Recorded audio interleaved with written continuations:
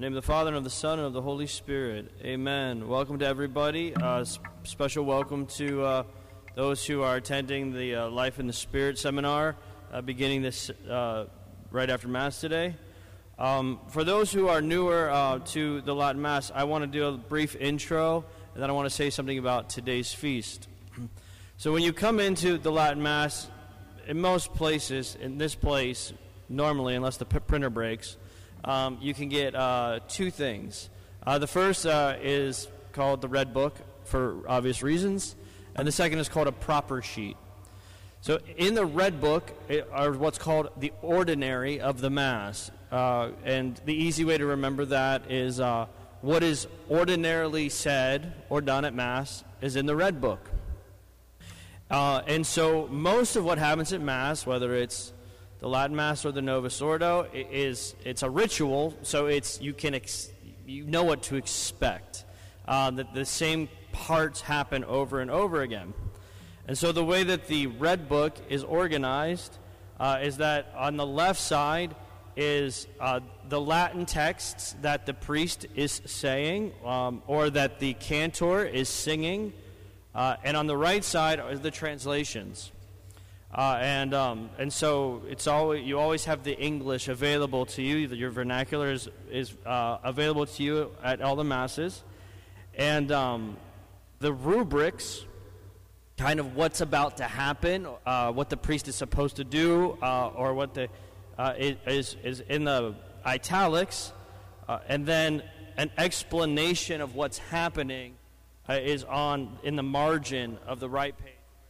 Vernacular Is so one of the ways that you can participate at, at, at a Holy Mass, at Latin Mass, is uh, just to keep following along. It, when you follow along with the, the Red Book, it can feel like um, it can feel a little bit like rush hour traffic. It feels a little bit like tr- driving down the lodge, um, where um, like like everything's going like faster than the speed limit, right? So you're just, and then all of a sudden you have to slam on your brakes, and then you're just gonna like stop there for a while. And um, uh, so that's kind of how this works, where. Um, at, at, first, you're kind of like, all right, well, what's the priest doing? Okay, um, oh, I think I found out where he is. Oh, yeah, I definitely know because the cantor's singing this. And then, oh man, now we're now we're we're going real fast. And then, boom, you get to essentially, you know, waiting for the gospel to be read, and it's a total dead stop, and that's okay. Um, the dead stops are there for you to catch up, to, to, to catch your breath, um, to pray. Um, so, um, so that's, and so the whole Mass is here. It's helpful to remember that the general outline um, of, of the extraordinary form is the basis of the, the outline for the Novus Ordo Mass. Um, so you're used to the Mass being in two parts, we say, the liturgy of the Word and the liturgy of the Eucharist. It's the same idea. Uh, uh, it, that idea is coming from the extraordinary form that has the liturgy of the catechumens that goes up to the preparation of the altar. Um, of course, uh, okay, so that's the ordinary. The proper sheet. This is the stuff that changes. Um, all of these things are also in the Novus Ordo. We just tend to pay a lot less attention to them. Um, so, what's called the introit uh, in the Novus Ordo, we tend to call it the entrance antiphon. Uh, it's still called the introit, but when we translate it, we call it the entrance antiphon. Um, the entrance antiphon is a proper part of even the Novus Ordo, but it's normally left out. It really shouldn't be.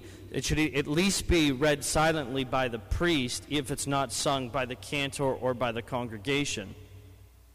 Follow the introit, uh, which is uh, also called the entrance antiphon.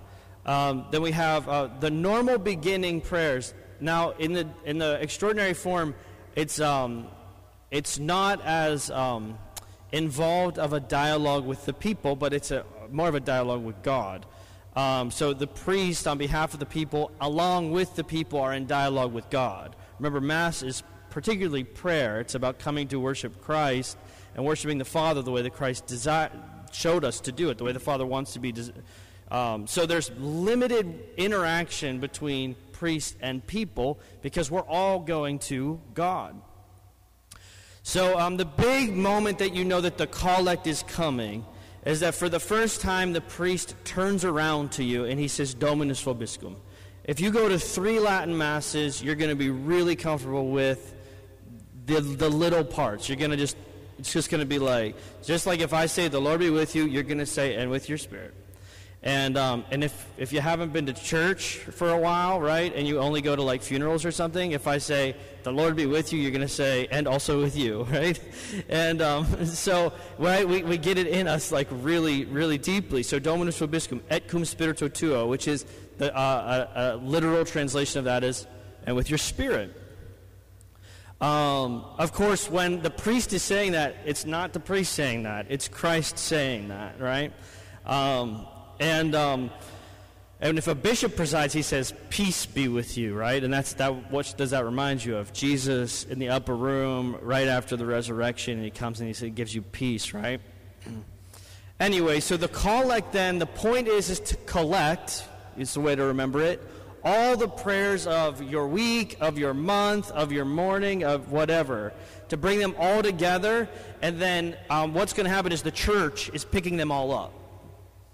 And uh, what she does then is she lays them in the person of the priest at the altar of God in the words of today's feast or celebration. Uh, so we're so um, uh, so we just saw that right. So after we prayed for mercy and after we uh, glorified the incarnation by singing the glory to God in the highest, then we go into this collect and, and uh, which is gathered by the feast. Okay, then we have the readings. You might say, well, why is even the readings, why are they facing God? You know, in, uh, in, in St. Paul's epistle to the Romans, he says that we should offer ourselves um, as a reasonable service, a, a, a logos latria, that is, a worship of the word to God. And so the church has always understood that the way we worship God is not by how we feel or by what we want to do. But the way we worship God is by giving back to God the thing that He gave to us. And before Christ ever instituted the Eucharist, the Word of God came to God's people um, through, uh, through the patriarchs and prophets. And so the first thing we're doing is we're acknowledging the great importance of these words and we're offering them back to God. Yes, it's for our, also for our instruction, but it's not solely for our instruction. And at Mass, it's not primarily for our instruction. Divine revelation is we have received something from God to give it back to Him. Uh, and so that's why um, that's why brother, whenever he sang the epistle, he sang it, uh, it towards the altar because the altar is the place of worship. And also that's why I sing. Um, now the gospel is a little bit different actually uh, because I'm at the altar, but I'm kind of facing off of it. So I'm facing liturgical north. This is coming from a scripture um, from Isaiah that says, "Proclaim the good news uh, to uh, to the barbarians." And uh, which uh, it's commonly known that they were in the north. the barbarians were in the north, right? So it's using symbols as the idea that if the north is the place of unbelief, then the priest is proclaiming the gospel to the north um, which is to the people who haven't heard. And in some sense, we're all the people who haven't totally heard the Word of God, right? But it's also to other people. So it's a very strong evangelistic element of the Old Mass. The offertory and the secret are, are two prayers that are prayed quietly, but when they are prayed, um, you are able to, um, uh, to, to read along then there's the preface here, uh, which happens also in the Novus Ordo. It's the way that we, be, we are preparing ourselves to go in to the Eucharistic prayer, which is the most important thing any of us ever do ever. The Eucharistic prayer, the, the reception of Holy Communion. Well, that whole prayer leading up to the confection of the Eucharist and then us receiving communion. That prayer, it, it, it should be like the prayer of your whole life. It's so super important. But the, the, old, the, the extraordinary form, the old Mass, um, has two ideas about what to do with the most important things. That if it's super important, then it's either whispered or it's sung. Well, the Roman canon or the Eucharistic prayer is so important that it's always whispered. Um, and so um, to know what's being said, well, you have to do a little bit of work. You have to follow along in your red book.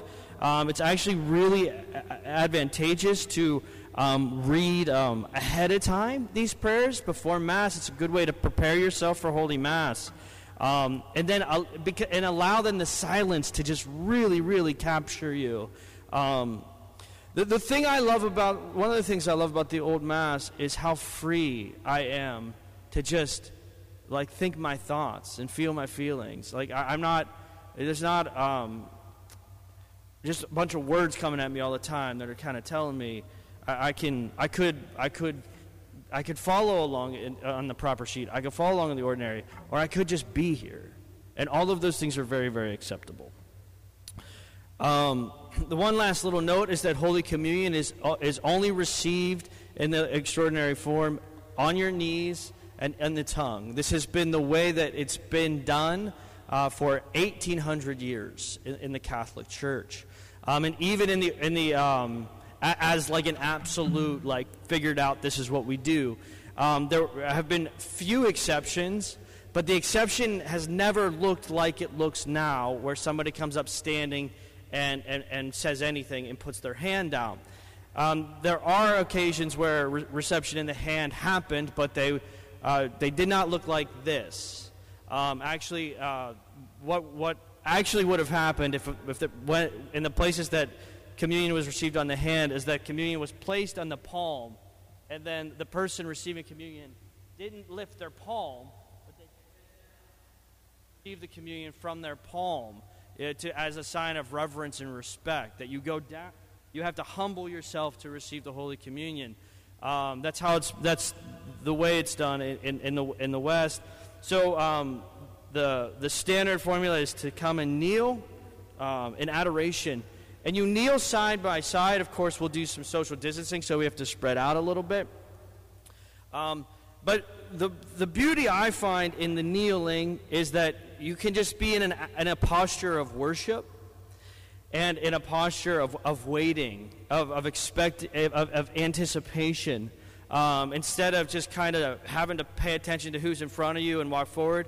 I don't know if you've ever had like a really deep, you know, prayer time at like a Novus Ordo Mass. I have, especially at the Our Father, where I can just close my eyes and I would just say the Our Father, and then all those prayers would wash over me, and then it gets all quiet for a little while, and I'd really start to pray deep. Then I'm like, oh my gosh, now it's my time to go for communion. Then I start going up for communion, and I'd still want to just be there with like my eyes closed, but like I couldn't because I had to like keep pace. And um, I, and uh, so anyway, you can come just to the altar rail um, and you can and you wait and you wait for the Holy Communion to come to you, and you can pray and you can worship, and you're already in a posture of worship. And um, and then the priest says to you, "May the body and blood of our Lord Jesus Christ bring you to everlasting life." Um, and then he says, "Amen." The prayer is prayed over you, and then you receive Holy Communion. Um, you don't have to say anything. You're just, uh, you know, the way I like to say it is you're like a baby bird, right? You're just being fed by Mother Church. And so all you can do is just lift, tilt your head back, close your eyes, and place your tongue out. It, it is a vulnerable kind of a thing to do, but it's very, very beautiful, and it's something that you can very much get used to. Um, and um, so, uh, so that's kind of the, the, the one other thing that I would say about my first time going to a Latin Mass is I felt like it was never going to end. Because um, right where it was like normally ends, which is like, may Almighty God bless you, Father, Son, Holy Spirit, you're going to see me do that. Benedicat vos omnipotens Deus, Pater Filius Spiritus Sanctus. That's going to happen. And um, you're going to be like, okay, it's over. But it's actually going to be like three more minutes at least because I have to read the, the St. John's Gospel. And, and every, at every Mass, you say St. John's Gospel, the, the prologue of John's Gospel. And the reason of saying uh, the prologue of John's Gospel is that's where John says, And the Word became flesh and dwelt among us. And, um, and the Word at every Holy Mass becomes flesh, and then you receive the flesh of the Son of God. And now He dwells in you the way he dwelt in the, in, the, in the womb of the Blessed Virgin Mary. So we have to remind ourselves every Holy Mass that this is what's happening. And that's why we read uh, John, the, John's Gospel. Uh, so, in other words, the Old Mass has built into it preparatory prayers and following prayers that we all just do together. And then you can do, of course, more preparatory before and more thanksgiving after. Um, in other words, the Novus Ordo is a slimmed down ritual. The emphasis in the Novus Ordo tends to be words, not symbols. The emphasis in the extraordinary form is symbols. Um, but then uh, the words are beautiful, and there's a ton of scripture, and it's wonderful. I hope that's helpful for people who haven't gone to the Latin Mass, who haven't been, eh, or if this is your first one. Um, my recommendation is like, just throw this out, right? Like, like we're we're t- so I think we're trained by the new mass to have to follow every single thing, and you don't. You just have to come and worship God. You just have to come with a worship and let the music flow over you and let the symbols kind of happen and know that you're in a holy place and that this is the gate of heaven today. That's my advice. That's what I did when I first came to this stuff and also whenever I would go to the liturgy of John Chrysostom and St. Basil, which is what the East does.